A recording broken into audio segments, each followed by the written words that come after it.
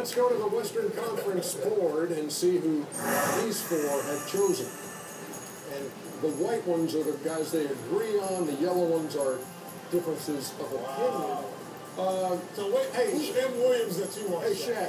Hey, what You gonna start Oscar? Shaq, get this out. No, No, you should. You mean, Williams. you, I thought you mean, if you mean Monty Williams, the coach.